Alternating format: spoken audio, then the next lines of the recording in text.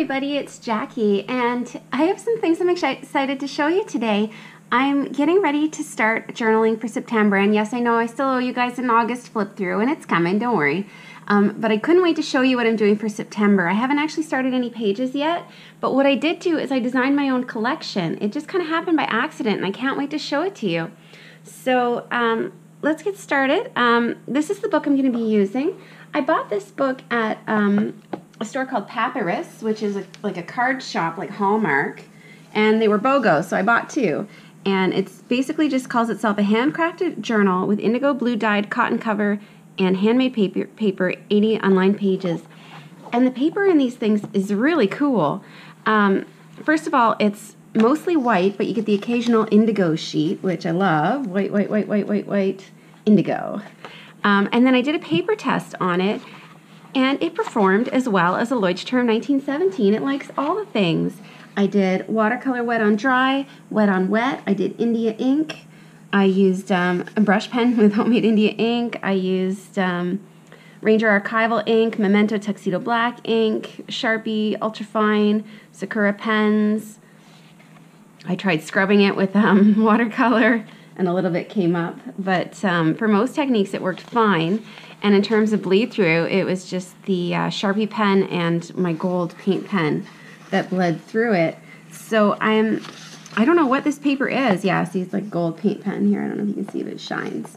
Um, I don't know what this paper is, but I'm excited to use it. Um, and then I was just thinking, I just want to watercolor the whole thing. So I'm not using this one, I'm using this one. Um, I thought, I want to watercolor the whole thing. I want everything to be orange and yellow and red. And then I just started thinking, why don't I just make my own journal fodder? I started putting ideas on paper and it just kind of came together.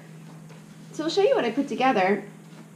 I started out by making journal spots. And I just did this with my, um, you know, my Jane Davenport watercolors. And I just drew some shapes, this is upside down, and uh, I made myself some tabs and some circle spots and I Zentangled on them and I used watercolors to color them. This is just this piece of sketch paper. And so those were the journaling spots that I ended up making. And then once I had journaling spots, I was thinking, sorry about the smallness of the frame, this is the best I could do. Um, then I was thinking, well, I need, I want some date things so that I don't have to write out the date every day. So then I put together this sheet, and it's got days of the week in, um, I used, just to show you where I started, I started by making a color palette um, just picking out colors that I loved. Um, I knew I wanted orange, red, and yellow, but then I was like, Halloween's in there, so maybe I should have some purple and green. And in September, it's not really autumn colors, so I wanted to have like a sky blue. And that's so everything's based on these six colors, and they're all from the Jane Davenport palettes. Um, so then I used all six colors to do um, my days of the week, and I just scripted them, and some of them I stamped. And then I did two sets of numbers, one in warm colors, one in cool colors. I did, I hand scripted out each of the months in the fall. I had a little bit of space here, so I did some 31s and I stamped out the days are getting shorter, the nights are getting cooler. And I had a little space here, so I did a little I love autumn, and again, I just hand scripted it out. And so then I had all these date sheets, and now at this point it was starting to come together. So then I thought um, I should die cut some things. So actually, I'll show you where I started. I I just did splotches of watercolor in different color combinations with my collections, and you can see where I've die cut them out. Um, different combinations that I wanted to try. And then I die cut out a bunch of things, some leaves, and some stars, and some arrows, and some words. And now I have coordinating die cuts to go with my collection. And then I thought, you know, I could use some sketch elements too. And so I started drawing icons. And now I have a deco sheet of icons. And then the only thing I was missing, because I don't use pattern paper, I don't really use journaling cards. The only thing I still needed was washi tape. So then I went out and I got this set uh, from Michaels, this Jane Davenport white, plain old boring washi. And it loves watercolor, so I used the same watercolors and I made some tapes. So I made one that was blue and purple with stars, and this was using one of the pattern tapes. I did two feet of each. Um, so now I have a nice thin blue washi tape for fall or for nighttime. And then I did, this one's my favorite. I did a nice thick one in the colors I've been dreaming of, which is orange and yellow and red. Two feet of that one. And then, because Halloween is in there, I used one of the pattern tapes and I did it in purple and green. And so I have that tape. And then I'm really loving this combination of light blue and orange and yellow. And so I painted this one and then I covered it with Finetec shimmery watercolor on top of that, like a yellow gold and orange gold and a white gold on top of the blue. And so this one is like shimmery. And so those are the tapes I made. So I've got everything I need. I've got journaling spots, I've got dates, tabs, washi tapes, deco elements, die cuts, and I am ready to start journaling. So um, now that all this stuff is made, um, I wanted to make it into stickers. So I scanned it into um, my computer and I printed it out, some of it. I haven't printed everything yet. I printed out the labels on, this is just plain sticker paper, and I'm going to fussy cut these out and use them in my journal. And the dates I put on clear sticker paper, which is glossy because I won't have to write on top of these. And um, so now I've got those. And I haven't done, you know, I'll just use the die cuts the way they are. I just stuck them on this sheet with um, temporary adhesive. I can pull these off as I need them. But the other thing I did was once they were scanned, I flipped them over to my sister and she is attempting to put together cut files for them for the silhouette so that we can actually make stickers that you can cut out and use. And so the question I'm throwing out there, I guess, is are you guys interested in this? Like, we're thinking about putting them up for sale in the Silhouette store or starting an Etsy store, but I'm just trying to gauge is there any interest in this collection from you guys? If there is, I'll try to put something together. I've never done any sort of online um, store thing before, so uh, it might take me a little bit of time to get it set up, but I'm happy to do it if people are interested. Um, but yeah, so this is what I'll be using. I guess that's really all there is to say about that. So um, I guess where we'll go from here is um, I'm going to work on the cover of my book. And I thought I would just keep the camera rolling for that um, so you guys can see how I'm going to put this one together. Um, it's basically, I'm going to tone down the white on it. I'm going to, um, I found when I was running today, just as I reached the end of my run, this perfect little red maple leaf fell out of a tree and it landed at my feet. And I thought, how fun would that be to have on the cover of my journal? So I'm going to try attaching it with matte medium. It's still like nice and soft and pliable, so I think it'll work. Um, but I've never tried to preserve a leaf that way, so I don't know how well it's going to work. But so that's the plan. I'm going to write the words fall on it in this orange paint. I'm going to use my Inktense pencils to put some more blue on the cover. And yeah, so I'm just going to um, speed up the video from here on out. I'm going to work on my cover and um, yeah, let, leave me some comments. Let me know what you think. Can't wait to, for fall. Like, I'm just so excited for fall. You know how it is. Okay, let's get started.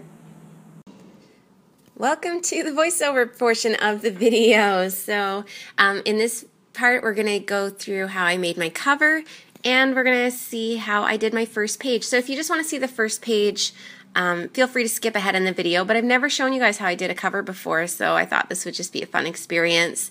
So, um, I love the triangles on the front of this book, but I don't like the stark white versus the indigo. So, I grabbed my Derwent Inktense blocks and I just put down some medium blue and if it's too bright in spots I add a little bit of indigo and I'm just trying to tone it out and I feel like it's created a much richer tone and that makes me really happy. I did the front and the back but I'm just not showing you guys what I do to the back because it's exactly the same and I don't think you want to show you want to see me do the same thing twice. Um, but the reason I use Inktense is because it doesn't move when I go to put matte medium over it, so it's a better option than watercolor because it really is just a solid form of ink that is water soluble the first time you use it, but when it dries, it's permanent. So then I have this leaf, and this is a leaf that fell at my feet while I was running. I think I said that already. And I'm trying to stick it down. But the thing about using a canvas covered book that this is, is that it's really thirsty. Like it, it just sucked up the Inktense, and then it sucks up the matte medium. So I had to put down a few layers until I got it to finally stick. and it took a lot of coaxing to get this thing down. Um, I pushed it with my fingers and I tried and tried and it wouldn't stick. So then what I end up doing and what worked really well is I grabbed my brayer. I put down a layer of wax paper so it wouldn't stick to the matte medium or the leaf and I just brayered, brayered it over and over again and it stuck really well and it was perfectly flat but it still looks like a leaf. Um, I just had to add a little bit more to the tips and do it a second time and then it stuck down perfectly. So I highly recommend that if you're trying to if you're trying to press a leaf because I did this probably 4 days ago now and it's it seems to be preserving it. I'm really satisfied with how it's worked out. So then I matte medium the whole cover because I just want the journal to be safe in case I drop something on it, like I spill a cup of tea on it or something. At least the cover won't get wrecked. And um, again, I did the whole uh, book, but I'm just showing you how I did the front because there's a lot of drying time. Like first the Inktense had to dry, and then the then the uh, matte medium had to dry. So I cut all that time out, obviously. Um, so then I'm going to put my title on, and I just start with a gel pen so I space out the letters, because the worst is when you go to write a word and then it goes over the edge because um, you didn't save yourself enough space. So that's why I write it in pen first, and then I go back and I use a small brush, small flat brush, to put some gesso down. And the idea here is that I do want it to be orange, but if I put orange straight on top of that blue background, it's either going to turn into something muddy or it might sink in and you not see it at all. Whereas if I put down this layer of gesso first, it's going to make the orange really pop. And I think that's going to work. So I don't really have any technique here. I just um, use a paintbrush, use my gesso, and um, let it dry before you add the next coat. But basically my title is going to be Fall 2017 because if the last book's anything to gauge by, I ended up filling that book um, over three months. I thought I was going to fill it in one month, and it took all summer. So I think this one's going to. I feel pretty safe putting a season on this one, where last time I put a month on it and it didn't end up using it up. So some footage got lost of how I got this title to work. So I'll just kind of explain to you what happened. Um, I end up putting the orange paint over it, and I put yellow on top of the 2017. And what happens is that although that leaf is brilliantly red for something in nature, when it's compared to the artificial orange and yellow of acrylic paint, what ended up happening is that the leaf looked dark and it kind of got lost compared to these super bright letters. So I had to mess around with the tones a lot. And I'll, you'll see some of it, but a lot of the footage of that got lost. But basically, what I ended up doing to tone down the letters was um, on the orange fall letters, I took a dry brush and the tiniest, tiniest titch of red paint, just a tiny little bit, and I dry brushed on some lines. It was still too bright after I did that.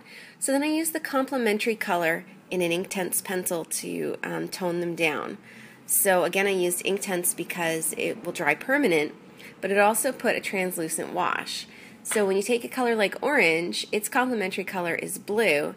By putting a sheer coat of blue on it, it toned it down um, to something that was more in line with the color of the leaf.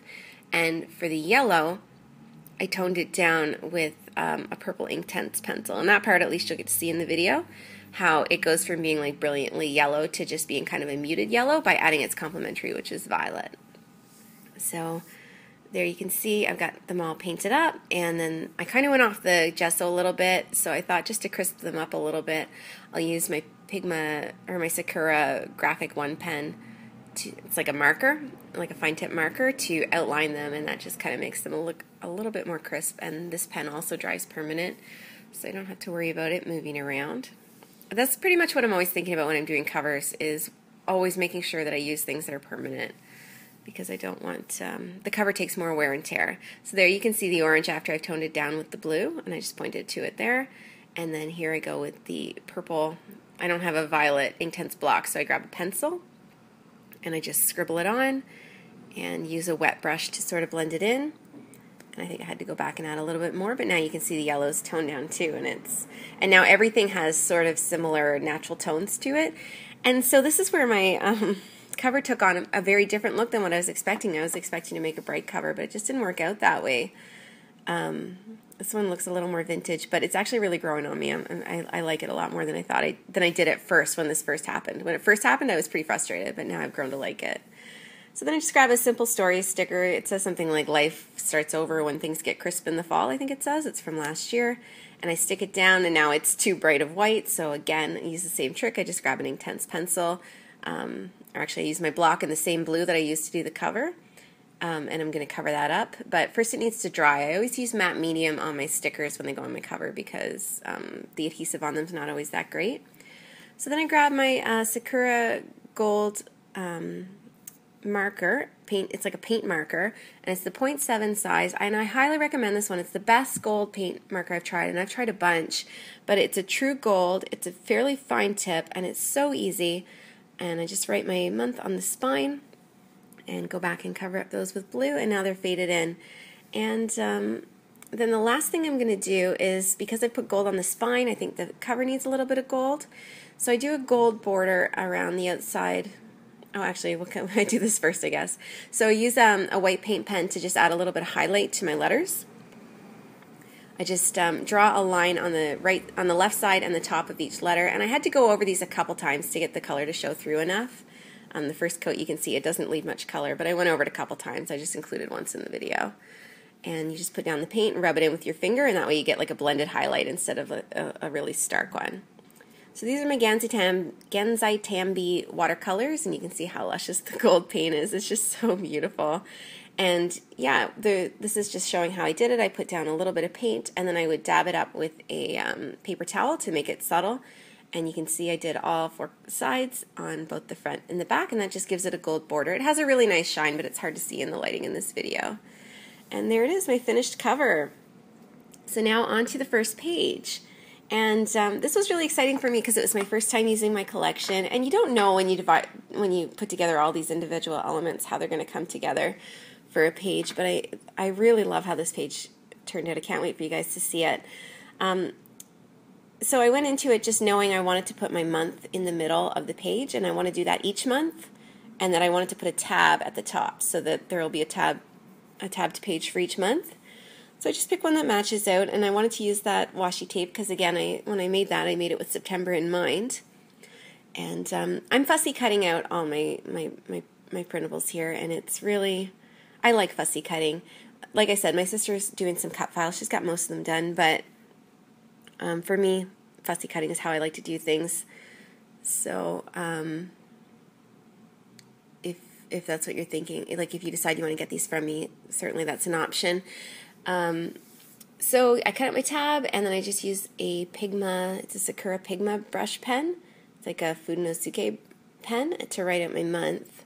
And I, I just love these pens. I get them at DeSerres and they come in three different sizes. They come in the Fudenosuke size, which is the small, and a medium, and in a big brush. And uh, they're some of my favorite brush pens. And um, at this point, I decide the page needs a little bit more color, so I don't stick anything down yet. I grabbed this stencil, which is uh, Mod Podge is the brand of the stencil. And I grabbed some Spice Marmalade Distress Ink, which is a lovely color for fall. And I just put down a little bit of a pattern. I think Distress Inks are still, they're one of the first ways I learned to add color to a page, and they're still one of my favorites. You don't have to worry about it bleeding through anything. It's beautifully subtle or as bright as you want, and I just think it adds such a lovely pop of color. So it's just a, a really simple thing you can do, and it really helps the page out, I think. So then I'm ready to start sticking things down. I put down my tape, and I just have to trim off the edges because I never get it right on the first try. and um, and then I'm ready to put my tab down. I have a like tab punches and things, but these ones I drew out by hand because I didn't have a punch for this size or for this shape. But I, I've really been liking that shape lately and then I know that's going in the middle, but then I remember I've got these flower stickers. I've shown this book on my channel before, and on the first day of September, I actually saw the very first sunflower of the season. And so I decided I want to put one on this page, um, but that, that one's too big. So I ended up going with a smaller one because the sunflowers I saw actually were quite small. They were only about two feet tall. Like it looked like they just sprung out of the ground. And so I set that down in behind where I'm going to put the September and then it needs a stem, so I grab my Cotman colors. Oh, I guess I don't grab that next. it's like I've never seen this video before. Um, so I um, use my Gansai Tambi colors to add a little bit of shimmer to the flower so that it matches the washi tape on the other side. I like to have common elements. And I just use the light color on the light parts of the flower, and I use that reddish color on the reddish part of the flower, and it works really well. I just love these paints. They're um, they're so shimmery, but I just use a translucent layer, and that way you can still see the flower. And then these are my Cotman colors, and I used a combination of Hooker's Green, and then I just mix in a little bit of sepia to tone it down a little bit so that I can draw my stem.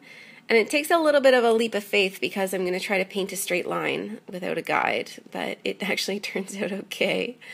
So I just kind of anchor my hand down on and and slide my whole hand down to make the uh, to make a straight line, and it came up mostly straight. I can live with that. But that little petal sticking down is really annoying me because I don't know how to connect the stem to the flower, so I have to lift the whole thing up again and then uh, finish the stem. And it still looks a little bit sparse, so I end up putting a leaf on the side. And I try to paint in some details on the leaf with the same color, but a little darker, but they didn't show up. So again, I just blend in a little bit of sepia and go over it again. And add a little shadow to the bottom of the leaf and the side of the um, stem. And now I have a lovely little flower. I'm really happy how it turned out. And then I'm ready to put my date sticker down. I'm really liking the clear stickers. It painted out kind of faded, but, uh, or like it printed out faded, but I think it works. Um, and then I'm going to write just hello, so it says hello September, and I could have used a brush marker, but I didn't have the kind of brownish red or brownish orange shade that I wanted. So I ended up mixing it up on my palette with some cadmium red light and some orange and some like cadmium orange and a little bit of sepia. And then I get this nice tone. And so to do this lettering, I just write it out normal in capital letters first, and then I go back over all of the downstrokes and thicken them up. And I'm still not quite happy with it, so I grab my finest pen, which is a Micron 005, and I do the same kind of thing we did on the cover where I just draw a little line on the left and top side of each stroke, and that makes it a little bit bolder. And so it says, Hello, September. And then the only thing that's left is just to do my writing. So, yeah, this is how my first page turned out, and um, I'm just so thrilled with how it's working out. I, I can't wait to hear what you guys think of it. In this book, I'm going to try to do a little bit less scrappy and a little bit more artsy, and so I think this page got me off on the right start. And uh, I've done a couple more since then, and I think it's working out pretty well. And there it is, the finished page. So yeah, let me know what you think. Thank you so much for watching. Have a great day.